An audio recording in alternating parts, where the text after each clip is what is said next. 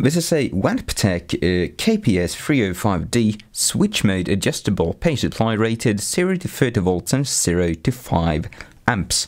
This unit was uh, kindly donated to me by Banggood.com, uh, assuredly for promoting their web store.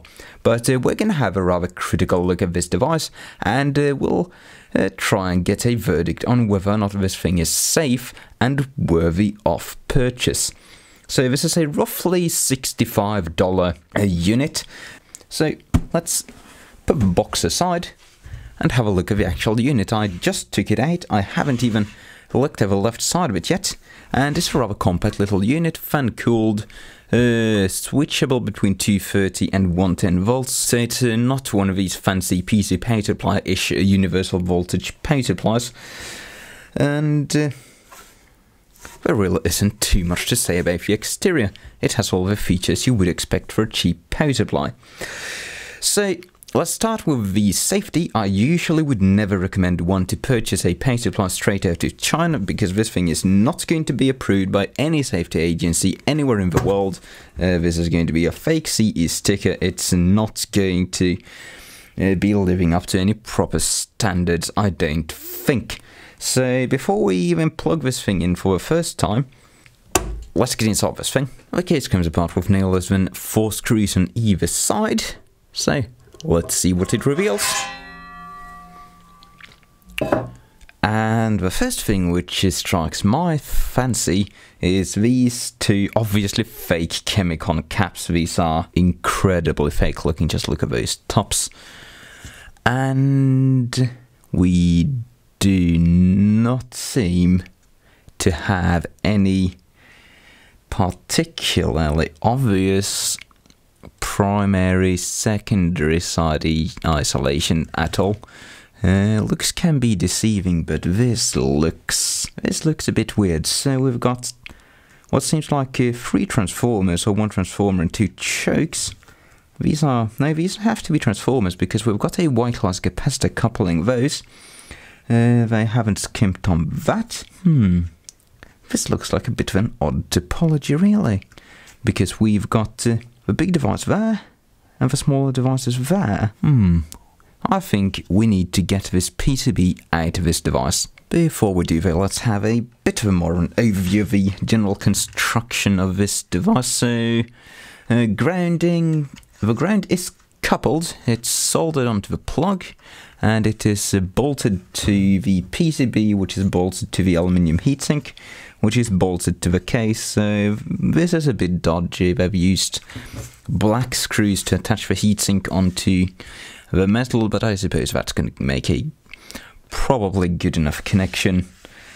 The plug seems to be soldered straight onto the main switch, and that attaches with this connector to the main PCB, which isn't a bad design. We've got nothing actually soldered onto the main power supply PCB, which uh, is a good thing. That means you can easily get this board out without having to be soldering and making a mess of everything. The two banana plugs on the front are connected with these uh, wires going through this plug, and they have no sense wires at the actual terminals, which is going to make the quality of these wires matter for load regulation, but since it well, there's about 5 amp power supply is going to have a reasonable drop in those leads, so that is a bit questionable, but it's a very cheap power supply nonetheless.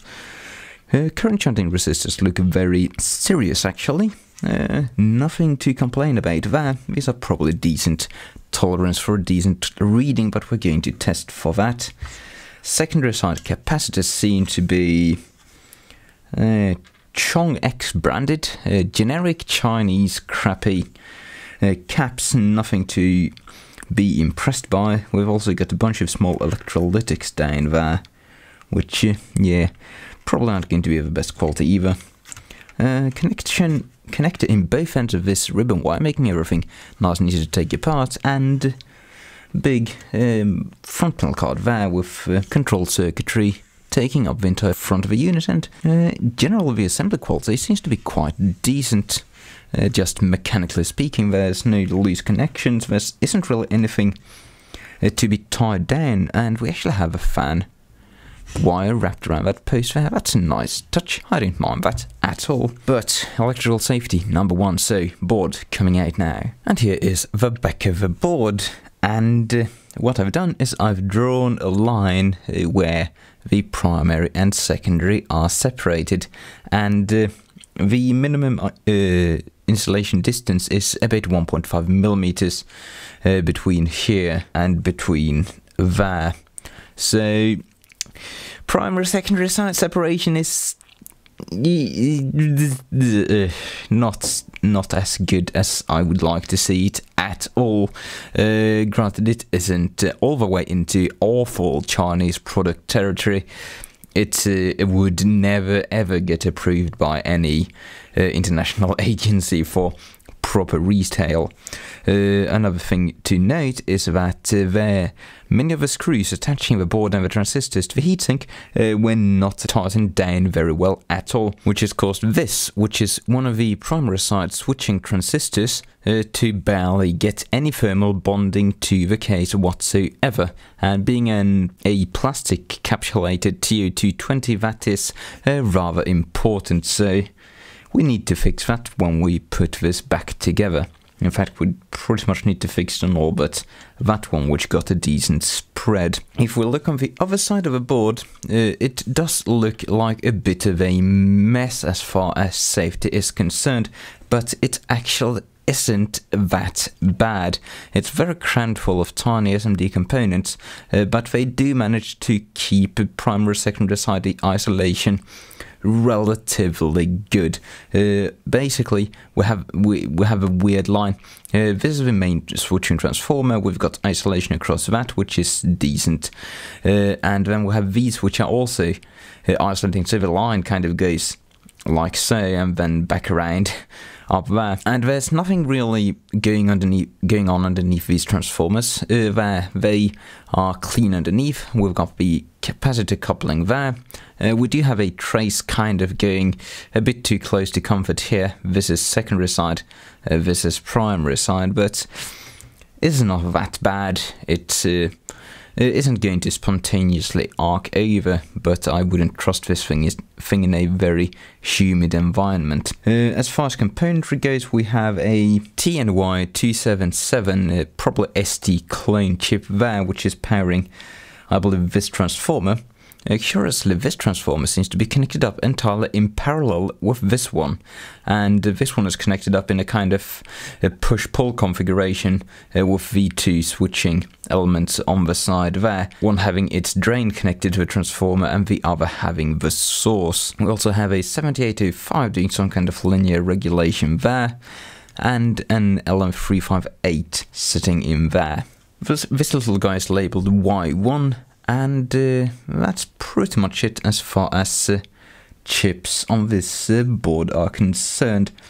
So we don't really have any brains on this power board, and I would wager that uh, the main power supply is mostly controlled through the uh, logic on the front panel which could probably make this uh, device rather hackable since you probably have pretty free reign over the actual uh, converter by just uh, doing magic on this connector here.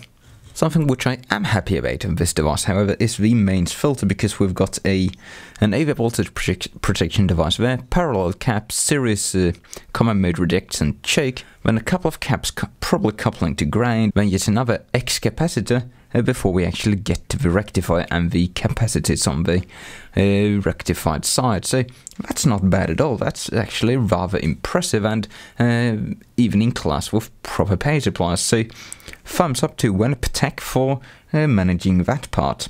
Negative side on the bottom of the board is uh, that uh, we do have a fair amount of solder splatter, in particular around the edges of the board, which uh, could be a very bad thing given the very limited primary to secondary side creepage distance we have. If you get a solder splatter there, it could easily bridge across between these two tracks and cause a very hazardous situation. So uh, this is sadly not a power supply I could recommend for someone who just wants to plug it in and go. However, for the hacker type who's willing to either risk their life or take it apart and give it a proper once over before you put it in use, uh, thus far, it doesn't look too bad. Uh, and if you're curious as to what that diode is doing, it is uh, the temperature sensor for the fan. Now, I'm not going to take the transformers apart because we don't have the budget of ruining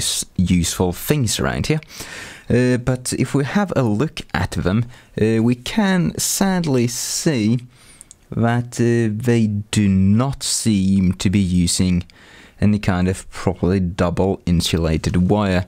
Uh, neither on the primary side nor the secondary. So that is a bit of a cause for concern as uh, these transformers could be wound in such a shoddy manner that uh, they could present a major safety hazard uh, if they're improperly manufactured.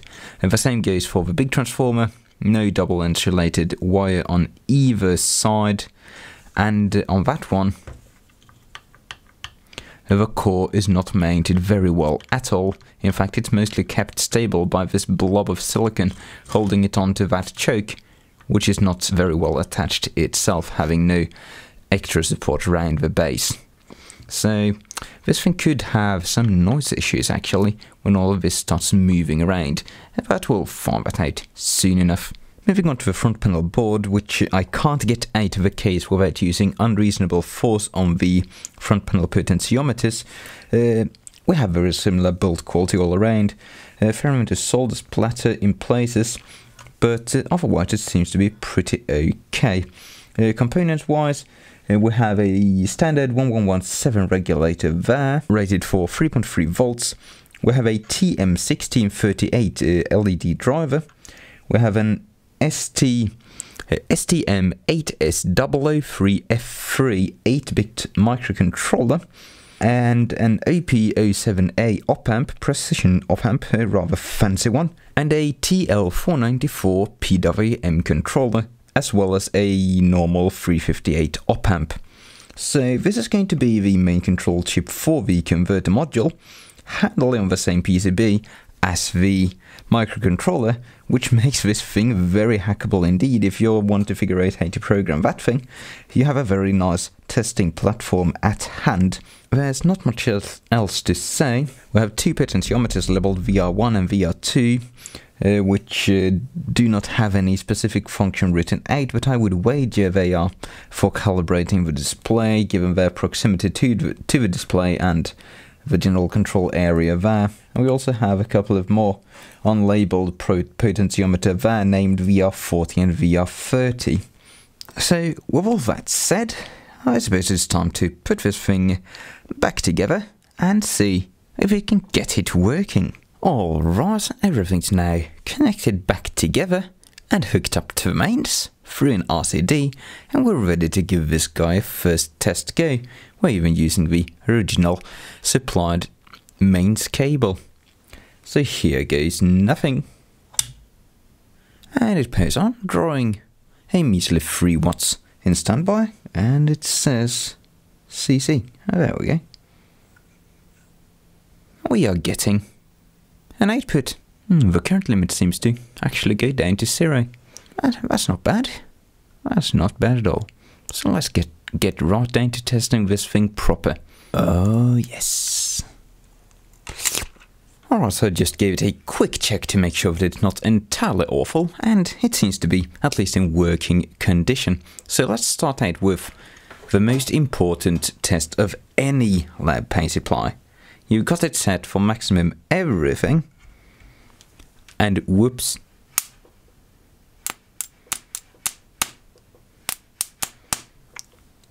It has giant output caps, but it doesn't seem to be exploding. Oh wow, that, that's absolutely destroying my banana plugs. Absolute carnage. So while it will make a mess of whatever you're shorting out, the KPS 305D does seem to be handled does seem to be able to handle quite a bit of abuse.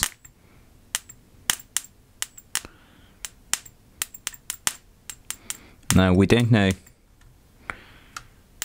how much uh, overshoot and crap we're getting, and these wires are actually getting warm from doing this, so I think we're getting some rather severe current spikes going through these leads because wow this, this is running very very hot it could be due to all the sparking though but we haven't exploded it yet that is a thumbs up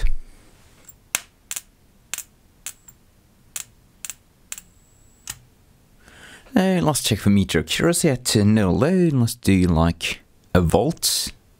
Whoa, that that's sensitive. The fine control for the voltage is very fine with a range of, uh, of 8.4 volts. But 1 volt seems to be accurate. Let's do 5. I should also point out that the controls are a bit illogical since you've got the voltage display above the current display, but you've got the voltage control to the right of the current control. So you've got current causing fine and voltage causing fine, which is uh, constantly confusing me. Anyway, let's uh, do 5 volts. Ah, spot on as far as resolution is concerned, 10 volts. Spot on, 20. Absolutely spot on, let's just max it out. And you really cannot complain about that at all. So let's check the current meter. And we've now got a 2-ish ohm load connected up to this uh, supply, so let's just use the current control to adjust our current. It's set to maximum voltage, so let's do... Whoa, that is... The button range of these switches is very, very sensitive. Let's uh, shoot for 10 milliamps using a fine control there. And just give us 10 milliamps, 20, 30, 40, 50. Yeah, we're out of range on fine controls. Let's just do 100. Yeah, the range of these fine controls is very, very fine indeed. We're getting 130 milliamps up to 176. It is very, very delicate. Let's see. 100 milliamps. Yeah, that's reading just fine. Let's do 500. Yeah, spot on. 1 amp. Uh, that is as perfect as can be. This thing is really well trimmed from the factory, I must say. 2 amps. Pretty much as spot on as you can be there as well. 3 amps. Spot on 4 amps. I'm betting it's going to be spot on there as well. Ah, it's off by 10 milliamps at 4 amps. And 5 amps. Hmm. Well, that's odd. We maxed that that's an odd issue. So if I turn the fine control down a bit, we get a bit of range at the end of a coarse control which doesn't do anything. So you have to use the fine control at the extreme of the current range. That's weird. That's weird. Oh well, going for 5 amps flat. Ah, we're 10 milliamps out. Not a problem. So let's do a crude uh, noise measurement on this thing. So we've got our scope hooked up to the output. Uh, it's set up to peak detect mode, 20 megahertz bandwidth limit, and uh, uh, all that good stuff. So we've got the 4 ohm load on the output to draw some current. So let's just turn the voltage up. So at 2 volts and 500 milliamps, we've got about 400 millivolts of ripple, which is not particularly impressive. Mostly in those little ringy short bursts. Now, lots of ringing stuff uh, could be resolved to the rather shoddy measuring setup we've got. Uh, both of these uh, devices are referenced to the same uh, power outlet strip, so there could be some nastiness going on. Uh, don't, in other words, don't take this test too seriously.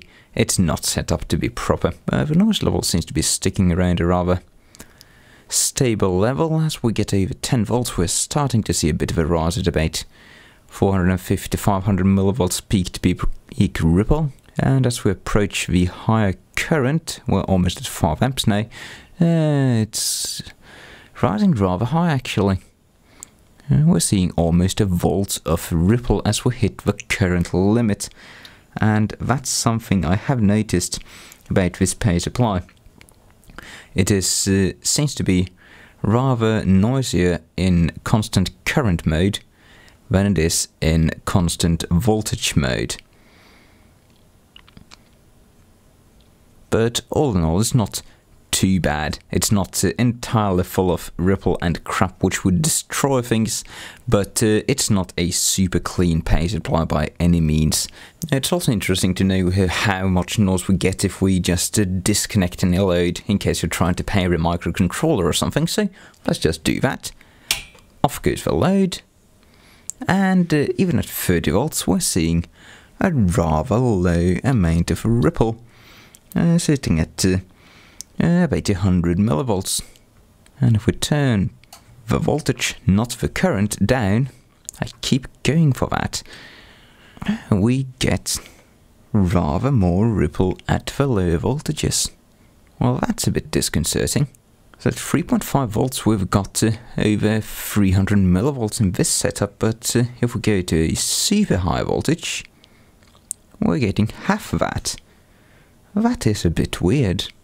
I must say. It should also be noted that this paint supply barely has any discharge resistor across the output caps, so if you go up on the voltage and then slowly turn it down, it takes quite a while for the power supply to actually uh, adjust down unless you've got a load connected. Now, this power supply doesn't have an output on-off switch, which is a bit disappointing. Uh, so, and uh, that means that there's no real way for us to do a proper turn on a voltage ramp up uh, measurement. Uh, however, we can do a transient test. So I've got a 2 ohm resistor connected up, which will almost push this to a current limit. And we've got our scope set up for 2 volts per division and a very slow sweep time of 20 milliseconds per division. So we're going to trigger there uh, when the voltage drops as we turn the load on. So let's see what happens and that that is absolutely horrible.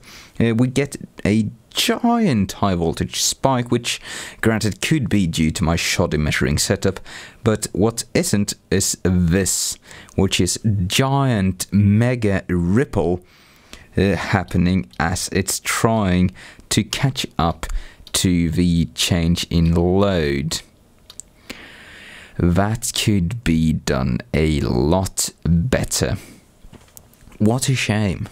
So for reference and in the name of fairness, uh, I've now rigged up to do the same test on my uh, TTI EX752M uh, power supply, which, which is a power supply which costs about an order of magnitude more than this one. So let's see how that fares in this exact test. And uh, we don't really need to comment on that, do we?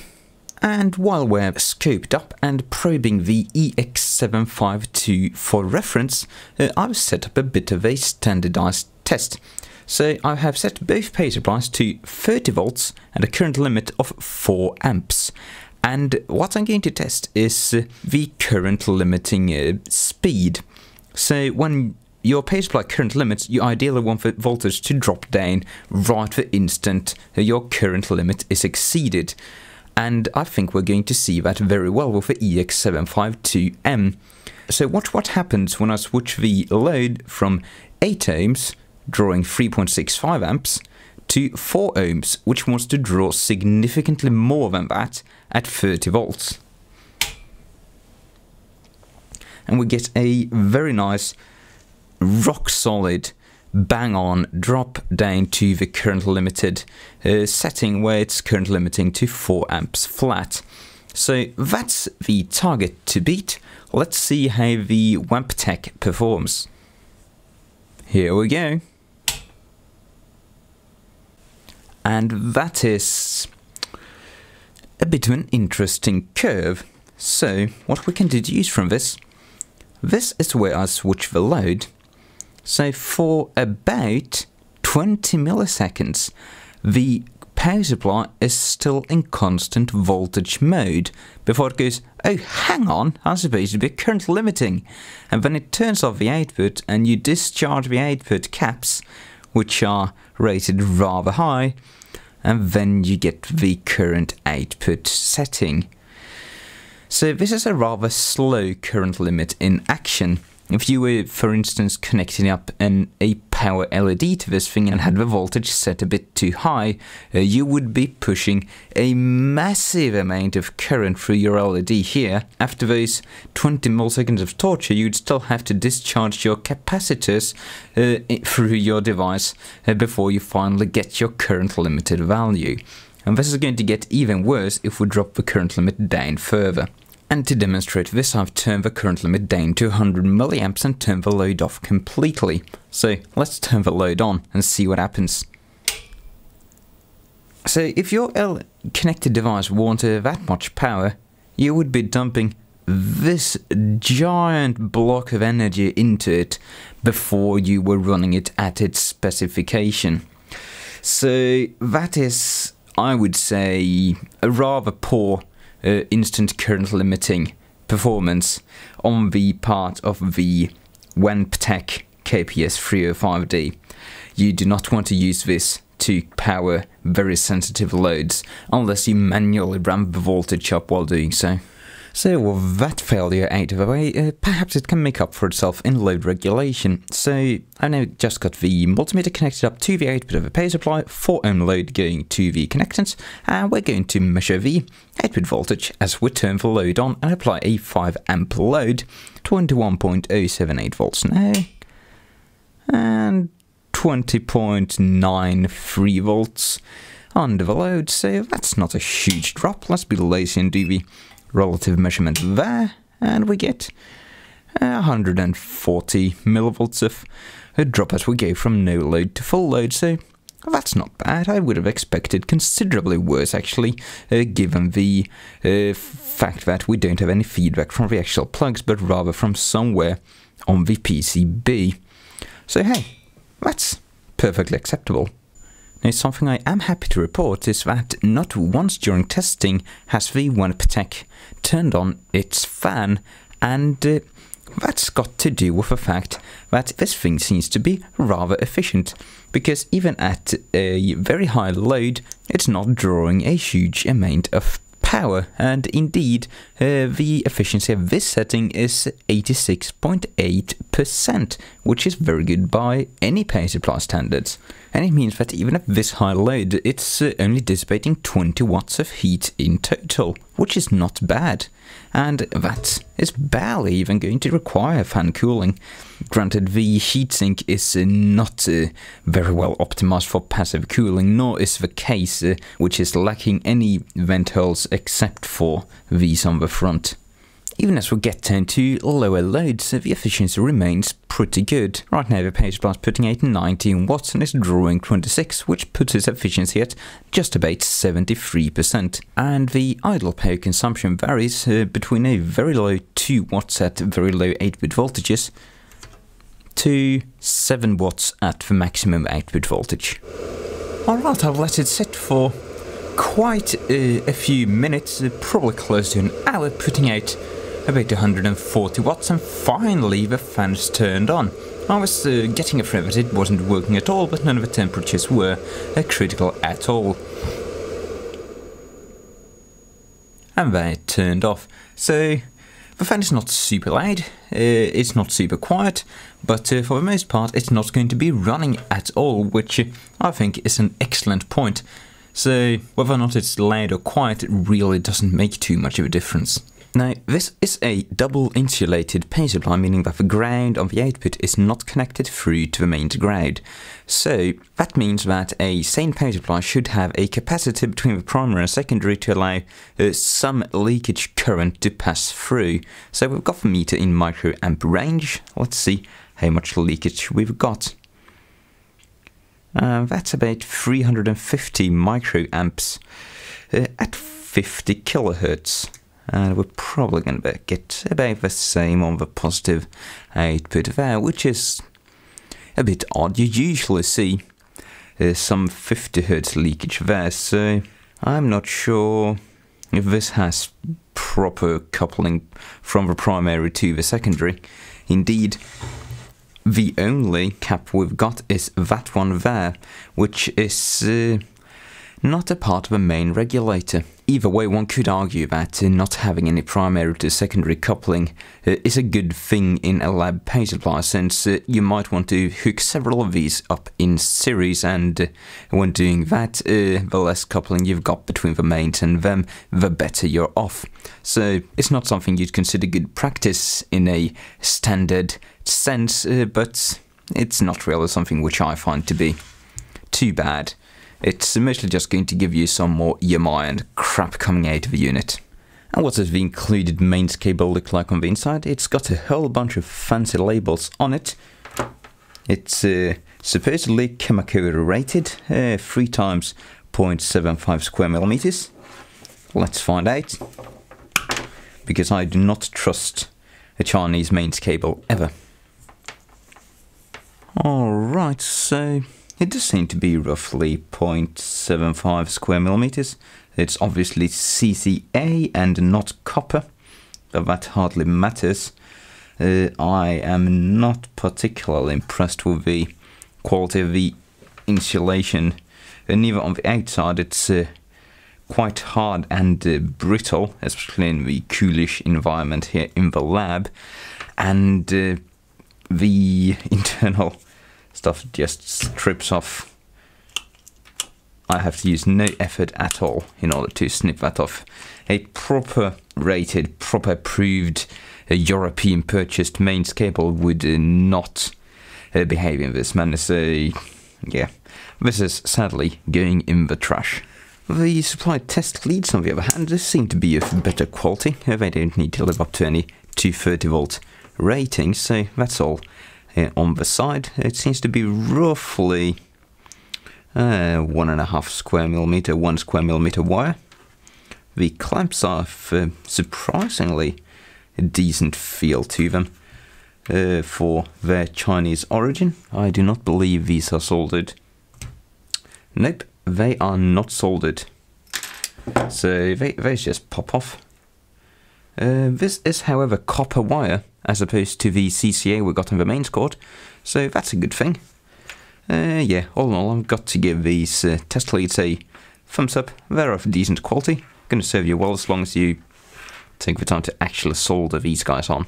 As a side note, the uh, supplied wiring, it's going to be whatever's hot in the Shenzhen market at the week of the purchase of the device, so your mileage may vary, I cannot guarantee that you'll actually get this particular wire with your unit. So in summary, what's the verdict on the Wanptek KPS 305D? Well, safety-wise, uh, it uh, does not live up to any kind of Western standards. Uh, it's not the worst pace fly ever. Uh, I'm not afraid to touch this. So while I would absolutely not recommend you purchase this and sell it on, uh, just getting one for general hobby use, knowing that it's not a properly approved unit, I don't think you're too likely to kill yourself. But the build quality of the transformers uh, is a bit of a concern. You don't ever know what's going on on the inside, and when you have stuff like a rattly ferrite like that, it kind of raises some red flags. Since it is a double insulated unit, I would like to see more primary secondary side separation. 1.5 millimeters is not good enough to live up to any sane standards but it's also not poor enough to uh, present a considerable risk of uh, arcing over unless you, your electrical grid suffers a severe overvoltage situation. So all in all safety is mm, hobbyist level I suppose uh, build quality wise, uh, we did see some very serious issues with the mounting of both the PCB, it was not tightened down properly, and the power transistors and the secondary side rectifier, they did not have sufficient thermal paste to work properly. And uh, had I just paired this unit on and loaded it down 100% uh, upon arrival, uh, assuredly this transistor would have gone up in smoke rather rapidly. Uh, the unit is full of no-name capacitors. These guys are going to see quite a bit of ripple under heavy load, so they're probably not going to be too long-lived, and these uh, fake Chemi-Con caps are not too confident in installing, but that stuff that's usually easy to rectify after you've had the unit for a couple of years and decide to just recap it. Performance wise, uh, it does offer excellent bang for buck. Uh, at 65 ish dollars, uh, you really are getting a lot for your money. Uh, 30 volts and 5 amps, it does live up to those specs. It doesn't seem to be too prone to exploding when you short it out. However, it does have very slow regulation. it does have a very poor discharge functionality when you turn the voltage down and it does not have an output on button which is probably something you would like on your general purpose bench power supply since uh, right now in order to uh, turn something on nicely you just have to turn the voltage down to zero and slowly ramp it up manually which is not very desirable. The output is also very dirty, as we saw compared to my uh, EX752M, so powering sensitive circuits, in particular audio circuits with this power supply, might not be too good an idea. Uh, you could easily run into an, a noise issue where you're fooling yourself because you've actually got noise coupling through from the output of a power supply. Uh, given that, uh, it's uh, there's a lot of space uh, inside it, and uh, this makes it very easy to, for instance, install a an extra output filter in here. Uh, that could very easily uh, rectify some of the noise issues. So it is a very hacker-friendly power supply. Uh, another upside of it is its excellent, very excellent efficiency, reaching almost 90% under heavy load and sticking above 70% uh, for most other load scenarios. That means that it's going to run cool and it allows the case of a unit to operate quite well despite not having any vent holes in it. And that's something I like because it means I can just have this thing sitting around, I can place stuff upon it, I can put screws on it and not be afraid that stuff is going to fall inside and explode everything, while at the same time not forcing it to run its fan all the time, and indeed I only saw it ever turn the fan on uh, briefly uh, while it was uh, pushing pretty much at full rated power. The way it handles the fan could also uh, quite easily be modified since uh, uh, it clearly does not need the fan to be running at the full power. Uh, you could just uh, uh put a resistor in series with it uh, to cause it to run at a lower voltage and uh, produce less noise while the unit is running under super heavy load, if you so desire. I do like the fact that it has the inputs right here in the front panel and they're quite nicely integrated with the front panel. Indeed, I, I actually like the way this unit looks.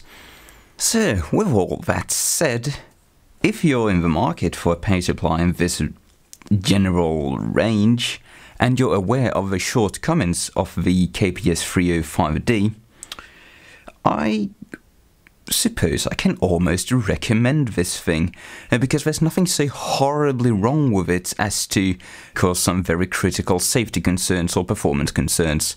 Uh, at all, the performance is decent enough for a general purpose power supply. Uh, it's not likely to give you a fatal mains shock, and runs cool. As long as you take it apart and fix it before you try and use it. And if you're interested in purchasing one of these, I've put some links in the video description to the Banggood page where you can find and purchase this unit for yourself. And with that, I'm going to say thank you for watching. I hope you found this useful. Cheerio.